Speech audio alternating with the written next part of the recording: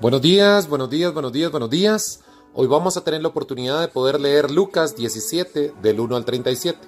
Aprovechando las fechas y el mes más lindo del año, vamos a leer todo el libro de Lucas, que está compuesto por 24 capítulos que leeremos un capítulo cada día para que conozcamos todos el nacimiento de Jesús, su vida, sus milagros, su muerte, su resurrección, terminando el 24 de diciembre, el día de su nacimiento o la fecha donde representamos su nacimiento. Espero que me acompañen cada día a poder conocer la vida de nuestro Señor Jesucristo. Dijo Jesús a sus discípulos, Imposible es que no vengan tropiezos, mas hay de aquel que por quien vienen. Mejor le fuera que se le atase al cuello una piedra de molino y se arrojase al mar, que hacer tropezar a uno de estos pequeñitos. Mirad por vosotros mismos, si tu hermano pecare contra ti, repréndele, y si se arrepiente, perdónale.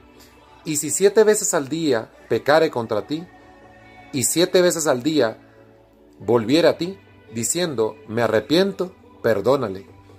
Dijeron los apóstoles al Señor, ¿aumentamos la fe? Entonces el Señor les dijo, si tuviera la fe como un grano de mostaza, podrías decirle a ese sicomoro, desarráigate y plántate en el mar, y os obedecería.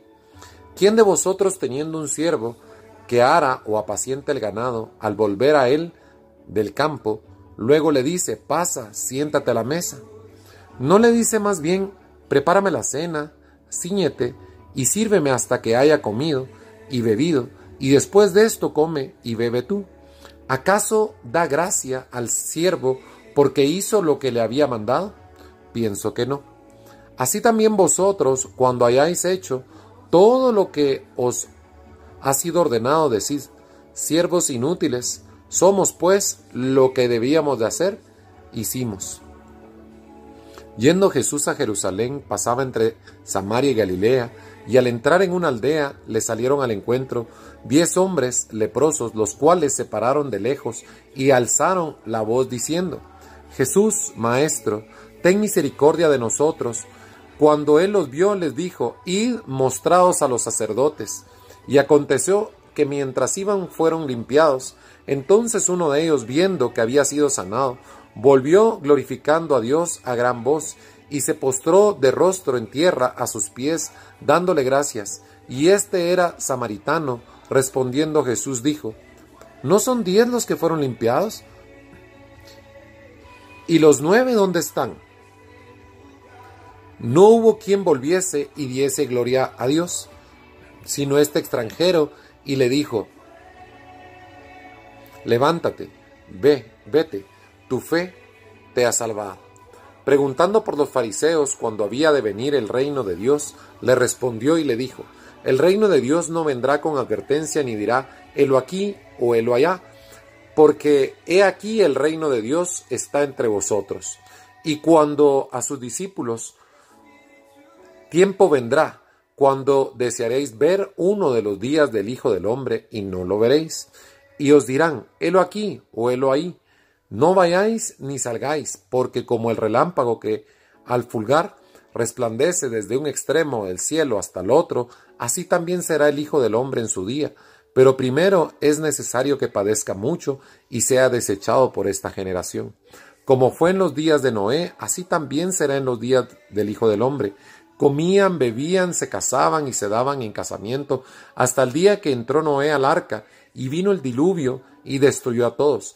Asimismo, como sucedió en los días de Lot, comían, bebían, compraban, vendían, plantaban, edificaban, mas el día en que Lot salió de Sodoma, llovió del cielo fuego y azufre y los destruyó a todos. Así será el día en que el Hijo del Hombre se manifieste. Y en aquel día el que esté en la azotea y sus bienes en casa, no descienda a tomarlos, y el que en el campo asimismo, no vuelva atrás. Acordado de la mujer de Lot, todo el que preocupare, procurare salvar su vida, la perderá, y todo el que la pierda, la salvará. Os digo que en aquella noche estarán dos en una cama, el uno será tomado y el otro será dejado.